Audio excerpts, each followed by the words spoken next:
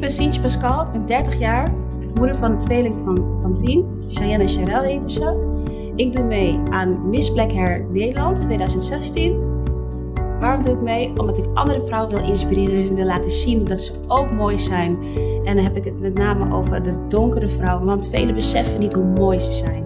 En het is het mooiste wat er is, is dat je gewoon jezelf kan zijn. En wat je ziet is wat je kent En dat je dat mag uitdragen. Dat wil ik jullie heel graag meegeven.